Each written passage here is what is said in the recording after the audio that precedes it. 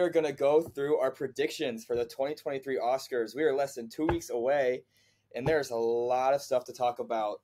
Jade, how are you doing today? I'm good. It's one of my days off from work, so you know it's a it's a good day. I feel that. Well, how are you feeling about going to this year's Oscars? About a lot of good movies in the past year. So, what are some ones you're looking to talk about or see win big? Um, I think obviously a contender for me, and I know for you as well, is going to be Everything Everywhere All at Once. Um, that is, I feel like the talk of Twitter, Instagram, TikTok in terms of movies. So I mean, and that's a movie that I love near and dear. It's my top movie of 2022. So I mean, that's the one that I'm really hoping for for almost every category, I think, at this point. So that's the one that I want to talk about. I completely agree. What Daniels did with that movie and Michelle Yeoh and Ke Huy Quan are all phenomenal. I'm so excited to see them get their more due. Hopefully, in the first of the categories which we see them nominated in is Best Supporting Actress, where we see Stephanie Hsu, Jamie Lee Curtis, both from Everything Everywhere at Once, mm-hmm. Kerry Condon from The Banshees of Inisherin, Hong Chau from The Whale, and Angela Bassett from Black Panther Wakanda Forever, all nominated for this award. Angela Bassett took home the winner at Golden Globes, and Jamie Lee Curtis won this past weekend at the SAG Awards. Jade, who do you think is going to take home the Best Supporting Actress Oscar? It's really hard to say because there's a lot of I should say there's, you know, Jamie Lee Curtis is just a huge name in the movie industry itself as well as Angela Bassett. And it's nice to see her being nominated for a Marvel movie, which is, I believe, it's a first for uh, this category. And so, yeah, you know, I love everybody. I, I saw Banshees of Inisherin and I really liked it. Uh, Kerry Condon was really good. Um, I just don't know if it's worthy of a winning, uh, of a winning title in this category. I love Jamie Lee Curtis, obviously, in Everything Everywhere All at Once. I just don't even think she's in it enough to warrant a win. Um, I didn't see The Whale, so I can't speak to that. And Angela Bassett, again, of course, was phenomenal in Black Panther Wakanda Forever. But my hope is that Stephanie Hsu wins it because she, I feel like, in this full, you know, movie, the awards and everything, she is not getting enough recognition and she's who I'm rooting for personally. I do think though it'll either be between Angela Bassett or Jamie Lee Curtis, but uh, my hope is for Stephanie Hsu. I I really hope Stephanie Hsu gets her due here too. I thought going before any of the award shows started that this award was a three-legged race between Angela, Jamie Lee Curtis, and Stephanie Hsu.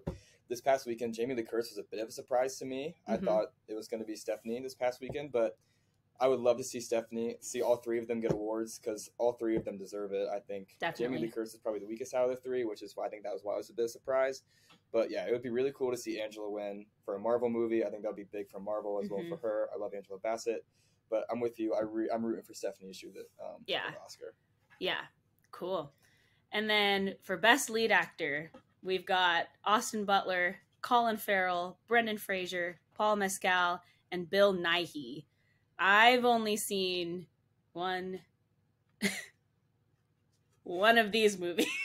So, what are your thoughts on Best Actor? This this is not going to be my strong suit.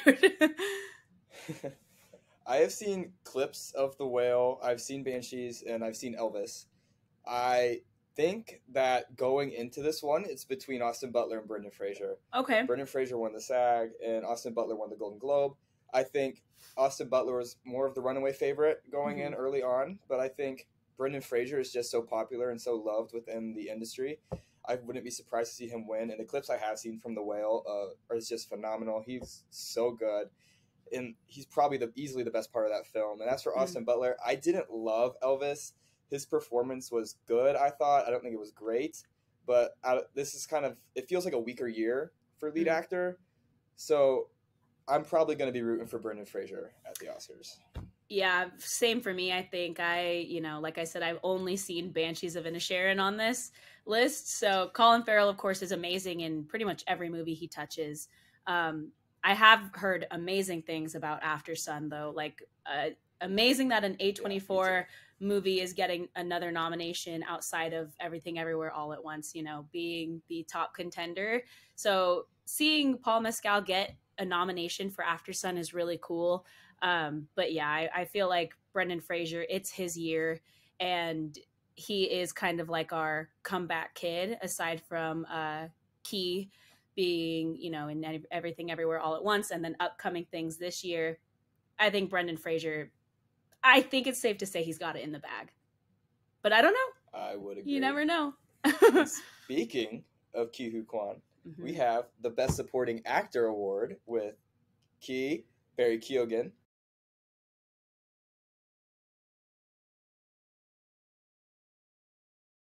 Judd Hirsch, Brian Tyree Henry, and Brendan Gleeson. I think this is a pretty obvious one. I think this is Ke's award to lose. He's won both the Golden Globe and the SAG for this role, and he deserves it more than anyone else on this list. He is fantastic. Every time I hear him speak, I am bawling my eyes out. I he know. presence. I love him, and I really cannot wait to hopefully see him win this award. What Me, do you think? I'm in the same boat here. It it's it's a runaway, I think, at this point. Brendan Gleeson is very good in Banshees of Inisherin. He's very cold in it, and it's like kind of makes me uncomfortable how good it, it was. Um, I also just want to highlight really quick Brian Tyree Henry getting nominated again for another A24 movie. I think it went straight yes. to Apple TV. Um, so I didn't, I don't have Apple TV yet. So I have yet to watch this, but I have heard it's very good. Him and Jennifer Lawrence. But it's it's Ke like you said it's Ke's i think it's his oscar to lose at he this point he was he, it, he was phenomenal like everyone talks yeah. about it's it's his year and it's everything but he put in that work to be so good in this movie like I his performance might be my favorite in the whole movie. Like of course Michelle Yeoh, oh, phenomenal. Stephanie Hsu, phenomenal. Jamie Lee Curtis, phenomenal. Everybody is great in that movie, but his performance alone is it just makes me cry every time. He's just a little ball of charisma. And yes. You don't want to take your eyes off him. I love him so much. I cannot wait to see what he does upcoming projects. I know we'll see him in Loki season two. Right. This summer. I am so excited. And another win for everything ever all at once would continue to put a smile on my face. Yeah. Um, and so again, leading into the next category with best lead actress, which is probably my favorite category at this point. Um, we have, of course, Michelle Yeoh, Everything Everywhere All at Once. We have Cate Blanchett for Tar, which I want to talk about in a sec. Um, Ana de Armas for Blonde. Uh, Andrea Riseborough, I hope I said that right, and To Leslie, which I didn't even hear of uh, until the nominee uh, nominations came out, and then Michelle Williams for The Fabelmans. So, what are your thoughts here? Because I know you've you've caught up on a couple movies this weekend. in the contrary to the best lead actor race, I think this is one of the more competitive best lead actress races we've seen in a long time. Cate Blanchett in Tar is so damn good. She carries that movie on her back. It's a very dialogue heavy movie, and without Cate Blanchett, that does not work. But it worked so phenomenal with her. I was obsessed with her performance mm-hmm. in that mm-hmm. movie as I was with Michelle Yeoh and Everything Everywhere All at Once. She's so great in that movie. She's obviously won the Golden Globe and the SAG mm-hmm. for performance. And Michelle Williams was uh, the clips I've seen from The Fabelmans. She is phenomenal in that too. Michelle Williams is a great actress. She always brings a lot of emotion and power to her roles. But out of those three, which I think are the three I would say main contenders for this award, I think it's Michelle Yeoh's race to lose again. I mm. think she's won the Golden Globe. She's won the SAG. I think Everything Ever All at Once is going to win so many awards this year, and I really would love to see her win that award.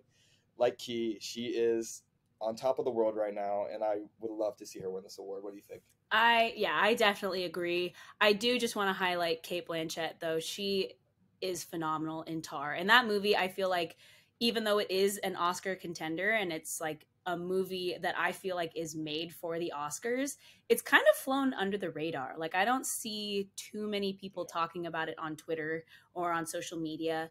Um, maybe I'm just not that deep in the film Twitter. I guess I feel like I'm pretty deep, but uh, maybe not. But um, it's got to go to either her or Michelle Yeoh. I I think it's gonna be Michelle Yeoh. There's no reason she shouldn't win this. Um, I will say I I've heard that Ana de Armas was really good in Blonde. I don't want to watch the movie, just you know, in spite of what everyone is saying about it. You know, about it being very harmful and very just not Yeah. what people were expecting uh, of another Marilyn Monroe quote unquote documentary or biopic. Um, but I've heard she's f- fantastic in it. So that's pretty cool that she got an Oscar nomination, anyways. But I do agree. I think it's going to be Michelle. I, she's just, for this type of movie to even be nominated is amazing as well. Just so off the wall and so deep. I think she should win it. I think so too, and I definitely agree. Ana de Armas is so talented for how young she is. I cannot wait. This is definitely not her last nomination at the Oscars.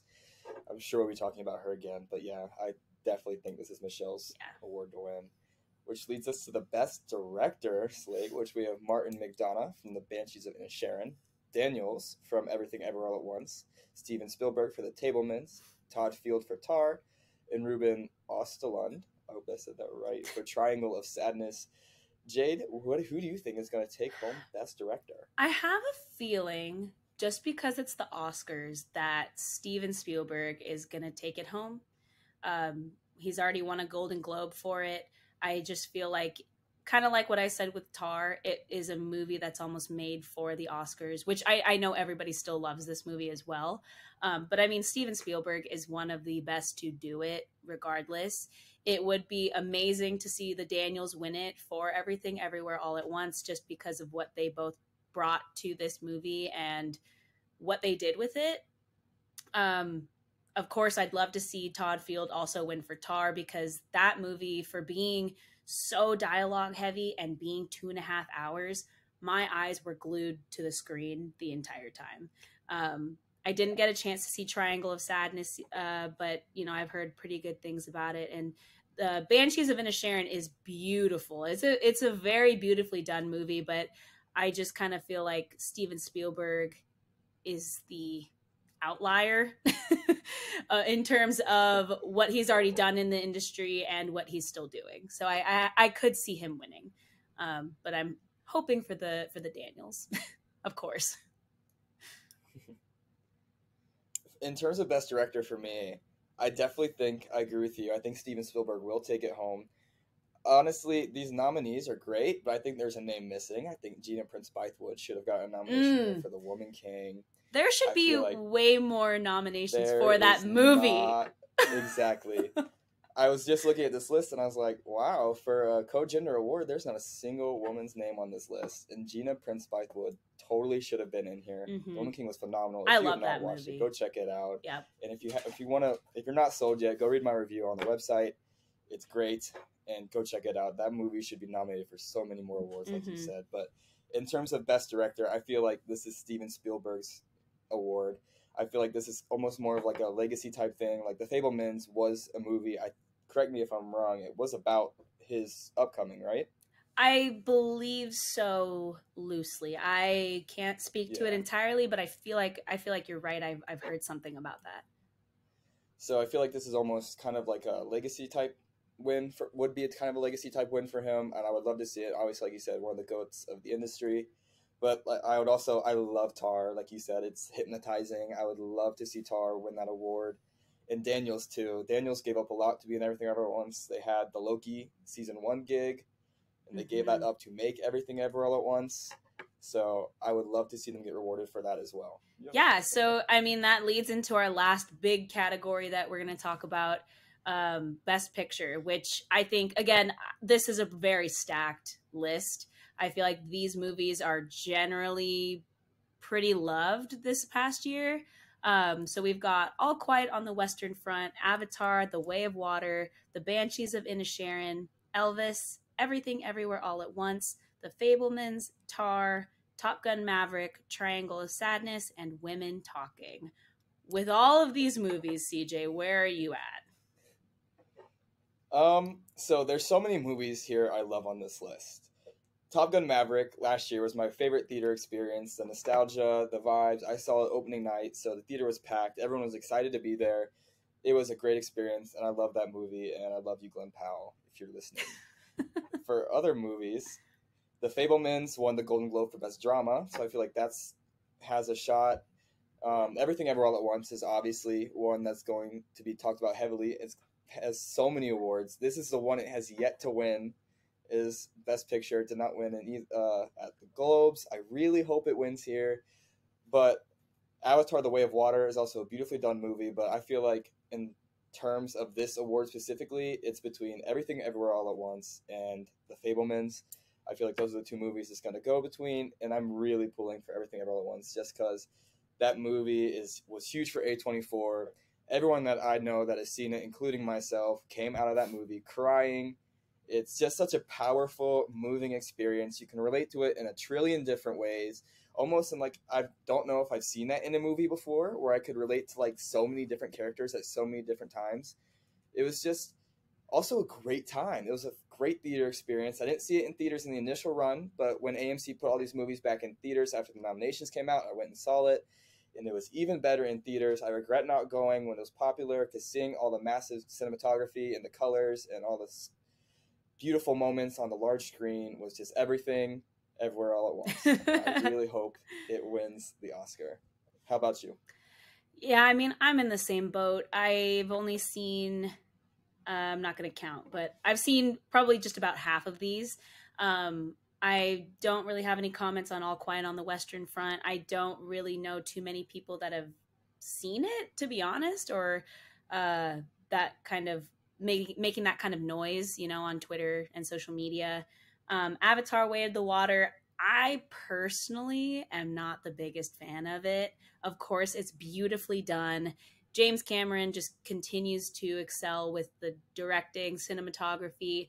Um, I'm not a fan of the story because I just feel like it's the same story again from the original Avatar, which to be fair though, I'll still go see uh, the third one and the fourth one and the fifth one probably.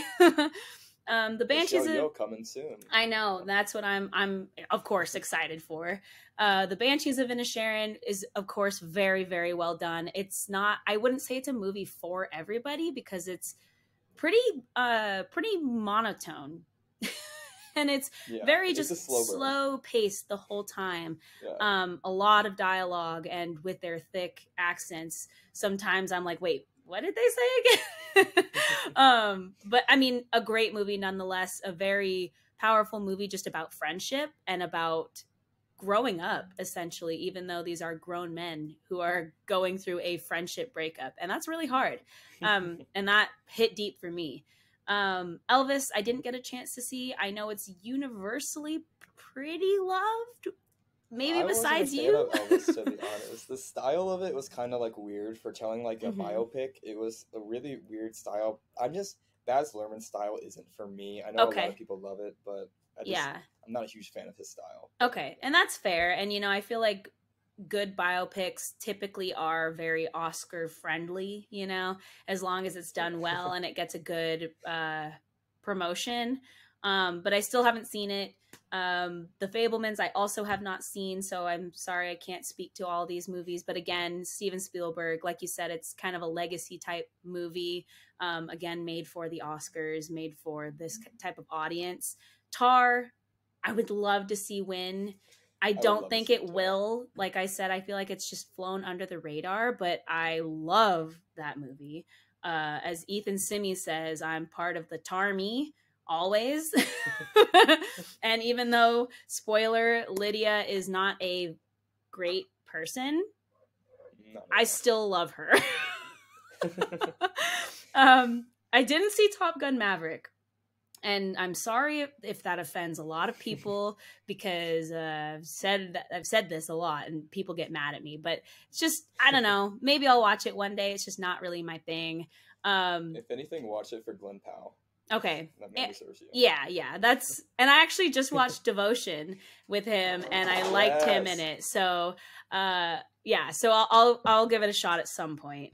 Um Triangle of Sadness I also have not seen. Um I've heard pretty good things uh, women talking. I have also heard good things, but not from that many people. Um, and then that just leaves me with everything everywhere all at once. I think if it doesn't win, I am going to be very upset. but I also understand if the Fabelmans wins um, over it. That's the only one I can really see taking that. Yeah. Um, but I mean, the Daniels and just what kind of uniqueness and originality they brought to this movie is incredible. I was not expecting a multiversal kung fu comedy that also wants to rip my heart in half. so yeah. it was just so surprising. Um, that's why I like it the most and why I'm rooting for it the most. 100%. I think that movie is going to have a huge night on March 12th. I'm so excited to see the cast there, having a great time, hopefully winning a lot of awards. And I'm so excited. Is there any other movies that have nominated for maybe other awards that you think should we should spotlight? Um, well, like we said for uh the Woman King, I am very upset that it didn't get nominated for anything. Uh, I think maybe it got some like some of the below the line nominations. I, I honestly don't know, but I mean Viola Davis alone, I think should have yeah. at least had a nod. Um, Lashana Lynch as well is Lashana as a Lynch. best. She was robbed. Yeah, as a supporting actress, she was phenomenal in that movie. Um, so good. What else? I think. Um, I believe Marcel the shell with shoes on. I was gonna say for all of the awards. best, animated. best animated. Yeah, best animated. I think we've got Marcel turning red. Uh, Puss in Boots. Puss in Boots in there? I think, I think it, it is. is. Um, that's the one that I I would want I would vote to win over even over Marcel. I love as you know I love Marcel. I yes, love that movie. Marcel. Marshall. Marshall. I combined it.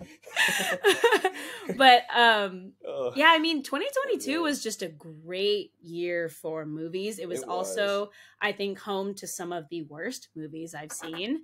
Um yep. but Halloween ends. Yeah, let's not talk about that. But um no, 2022 was packed. And I'm excited. great year. Yeah, I'm excited for what 2023 has to offer because we're already off to a pretty good start.